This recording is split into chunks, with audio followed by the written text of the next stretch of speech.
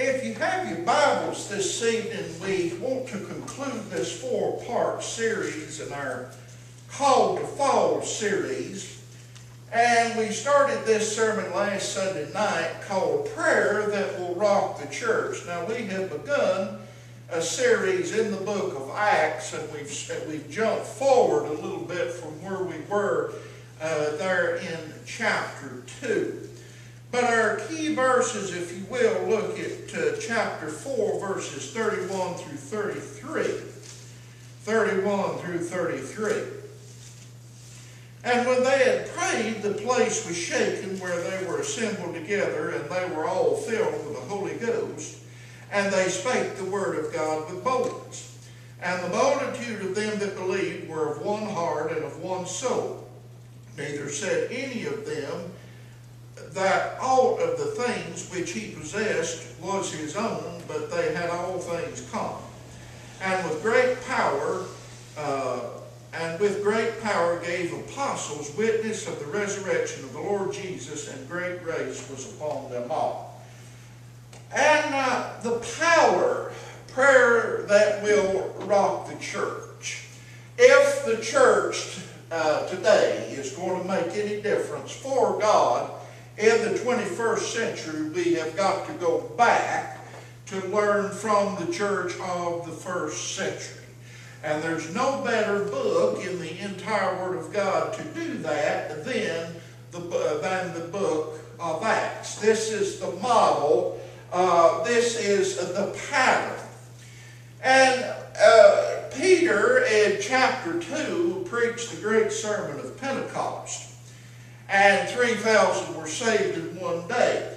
Well, by the time you get to chapter 4, 120 grew to 20,000 in a matter of weeks. So wouldn't it be wonderful if our churches today uh, could do that? What, wouldn't it be wonderful if we could experience that kind of victory?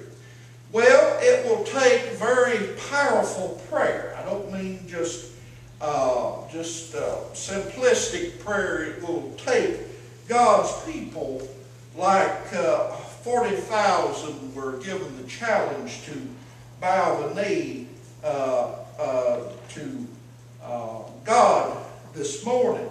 Peter and John there, we know, were arrested there in, in the temple there healing the lame man. And they were told not to go back uh, to witnessing. But they said, we cannot uh, stop speaking about the things that we have seen and heard. Now we consider, first of all, the perspective of prayer. If you want to pray with power, if you want God to make His presence known, if you want Him to rock the church house, you must pray with the proper perspective. Now, notice, if you will, let's go back uh, 24 through uh, uh, 28.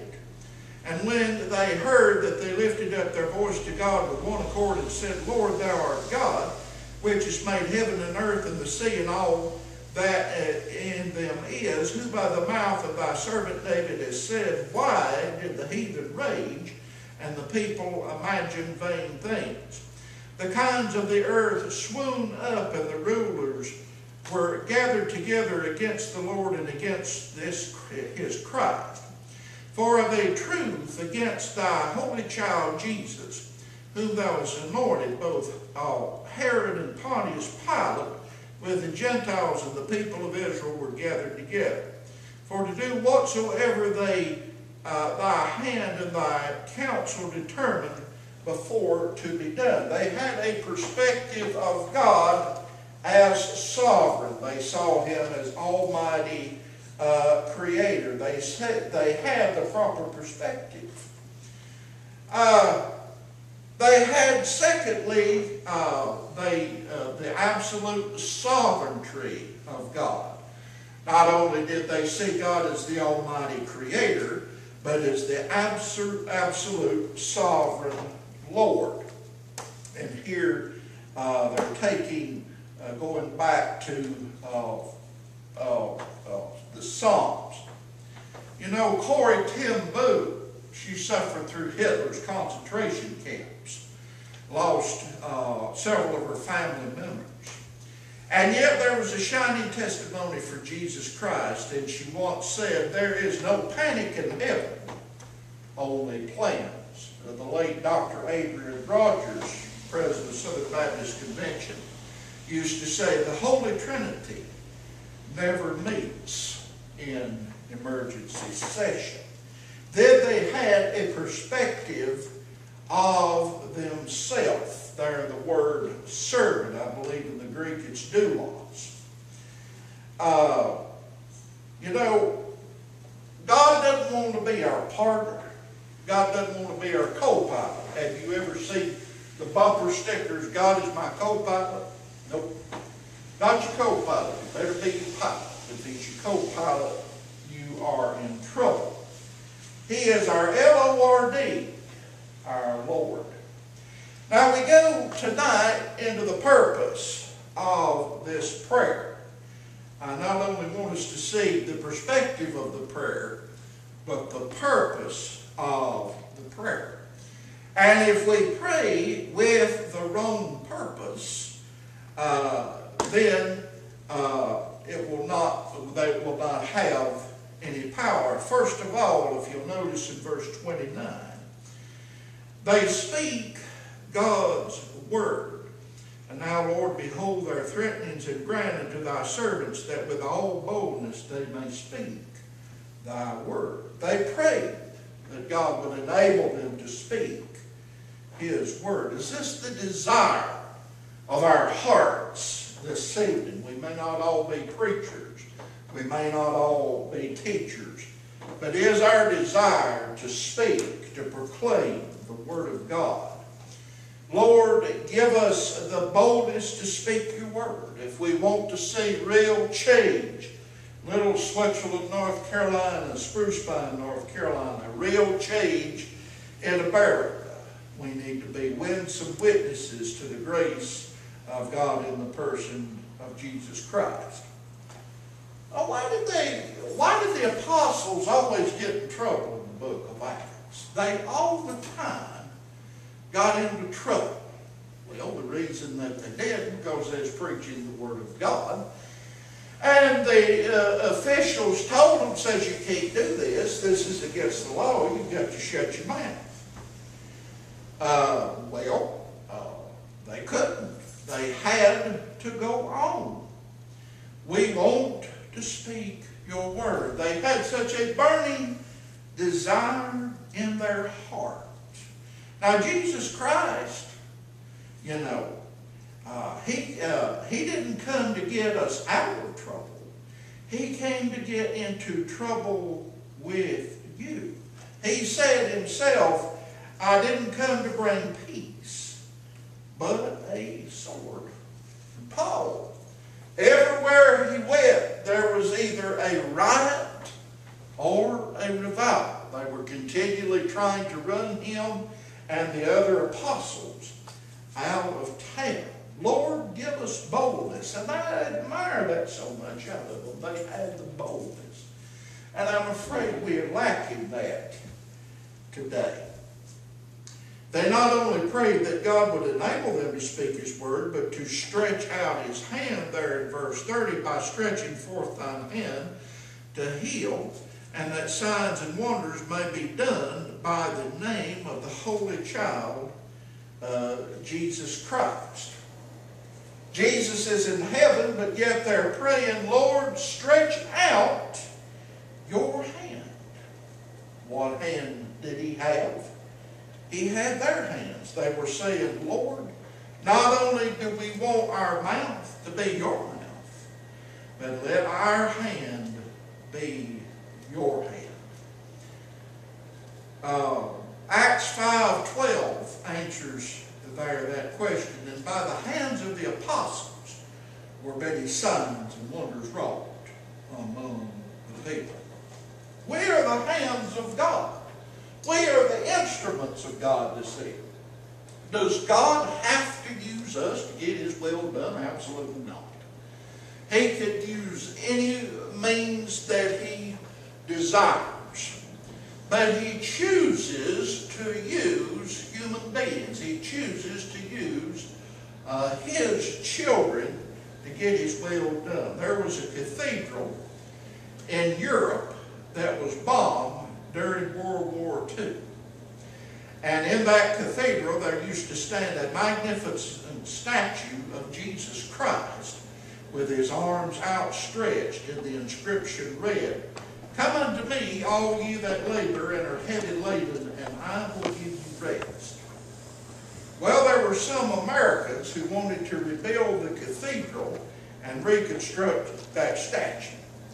They searched through the rubble, found the parts, proceeded to reassemble the statue. But when they came to hands, they couldn't find any anything intact. They had been destroyed. But somebody had an idea. And he wrote another inscription beneath that statue with those arms without hands stretched out. He has no hands our hands in the self-limitation of God in Jesus Christ in getting the gospel out. We are his hands. We are his feet. Thirdly, they synchronize with God's will. Notice, if you will, verse 30 again. By stretching forth thine hand to heal, and that signs and wonders may be done by the name of the Holy Child, Jesus Christ. What does this mean to pray in the name of Jesus? Does this mean to get our shopping list and after we've read it, to say in the name of Jesus, amen? Well, yeah, we, we tend to do this. And there's nothing wrong with taking God, uh, taking to God our needs. But you know, if the church is ever going to have any power, it's got to go beyond that. It's got to go way beyond that and pray with power and conviction. Now, you know, uh, that we often think that there's a magical formula that will get our prayers answered. No, God is not some glorified grandpa indulging us and doting on us. Uh, God is the almighty creator and the, and the sovereign Lord.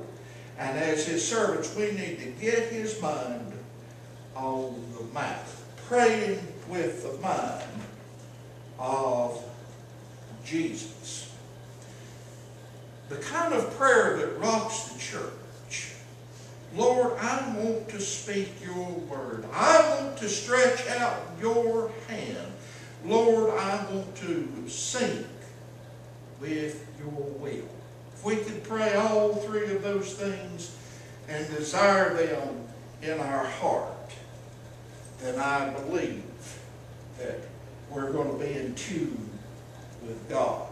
Now, thirdly, if you notice, we see the power of this prayer. We've talked about the perspective of their prayer, and out of that perspective, they prayed with a purpose. Now, here is the third thing the power of this prayer, or better yet, the power of God's answer to this prayer. Now, as we have read in verses 31 through 33, first of all, they were filled. What were they filled with? They were filled with the Spirit. Now, we get all the Spirit of God we're going to get when we get saved. But a lot of times we quench the Spirit and we continually have to pray for, I guess, a renewal. But, uh, you know, uh, we are to pray, God, give me a craving to sing with your solemn will. They prayed uh, this purpose. They were filled there, going back to Acts 2. They were the apostles there, the disciples, were filled with the Spirit there on the day of Pentecost. And Peter preaching there the mighty message. 3,000 were saved. You know, a lot of times we go on past experiences. We go on the great things, the great spiritual things that happened in the church years ago. We can't do that. We've got to continually having a fresh filling, having a fresh renewal of the Spirit. We need power for today. We can't rely on what happened three years ago or three months or three weeks ago. Are we filled tonight with the Spirit? They were unified there. Uh, we see in verse 32, the multitude of them that believed were of one heart and one soul. Neither said any of them that all of the things which he possessed was his own, but they had all things in common. They became one in heart, one in soul. They were unified. Psalms 133, 1, How good and perfect it is when brothers dwell together in unity. It is like the oil poured on Aaron's head and the dew on Mount Hermon. Unity is a beautiful thing. By this will all men know that you are my disciples if you have love for one another in John 13, 35. Love produces unity, not uniformity, not sameness. We're not going to agree on uh, all, uh, most things theological, but on the main things, on the efficacy of Jesus Christ. And on the night before his death, the Lord Jesus prayed to the Father, that they may be one even as we are one, I in them, and you in me. You know, there was incredible unity in the first century church there in Acts. And the tragedy was, if you, if you know your church history and all the schisms and, and the battles and, and the things that happened there through the centuries, this unity suddenly it was wounded, I guess you could say. But that fresh unity, that innocence, there they had in the early church. And you know, prayer uh, helps produce that. Uh, when they prayed, there was a unity. And then they were emboldened. They were filled with the Spirit. They were unified, and then it says they preached Jesus with boldness. You know, God's Spirit just doesn't fill you just so you'll feel good. And you feel pretty good with the Spirit of God in you. But He fills you so that you can bear witness to Jesus, and He gives us power for a purpose. One of the, the theme verse of the book of Acts, Ye shall be my you shall receive power when the Holy Spirit comes upon you, and you shall be my witnesses. Well, we surrender tonight to that purpose. The early church prayed for boldness to witness, and the Bible says that when the Spirit filled them, that with that great power they continued to bear witness to the resurrection of the Lord Jesus Christ prayer and power do go together. With great power, they continue to bear witness. A witness is someone who has an encounter with the living Lord. Now you look at these uh, disciples, and they indeed had an encounter with the living Lord. They sat at his feet for three and a half years. They learned, they heard his teaching, they saw his miracles and his healing. And they saw that he was just not another man. Never a man spake like this man. And they saw the living Lord there. Their master, they saw him die upon Calvary's cross they thought that all hope was lost. And then they saw him resurrected the third day. Now they didn't they didn't realize that he was actually going to be resurrected, even though he told them over over and over and over that he would be resurrected. You know, when we witness for Christ, often we say, well, I can't witness. I'm shy. You know, if we allow the Spirit of God to rule and to reign in our lives, then you'll have to hold you back with a rope from turning the world upside down. And that's what the early church was accused of doing, turning the world upside down. And that was not a compliment, by the way, by those who said it. They were rocking the boat. Uh, the, uh, uh, the little apple carts of the Jews there, the Romans, well, man, they were running them off of the track. It's like Moses when you encounter the living Lord there on Sinai. And he, he had to put a veil on his face when he come off of Sinai because it was so bright. He had witnessed the glory of God. And even then he could only see so much of God and live. But when he came off of that mountain, when he came off of Sinai, he had an encounter with God. And he would never be uh, the same. Wouldn't it be nice to go to our prayer meetings, to worship service today? You know what, we, we began this message about earthquakes and the power there. And God rocked the house where they met. Well, when Jesus died there in Matthew 27, 51, the earth quaked and the rocks were split. And when Jesus died on that cross, God said, Amen, with an earthquake because it was an event that would shake the world. And he was raised there in Matthew 28, 2. Uh, there it says there was a violent earthquake.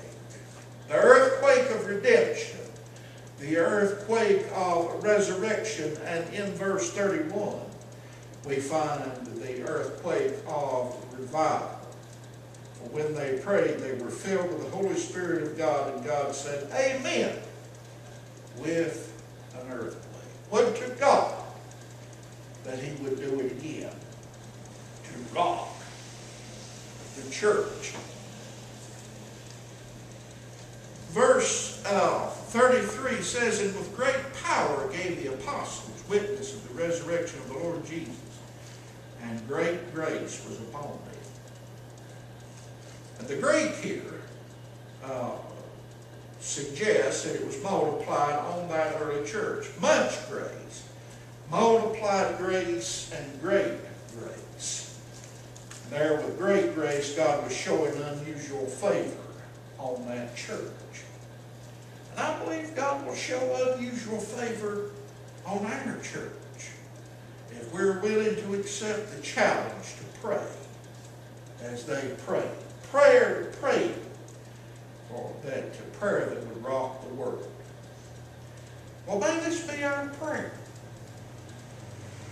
Um, that we would have a supernatural encounter with God, a, an encounter that would completely rock our church, rock our world, and that many would come to the saving knowledge of Jesus.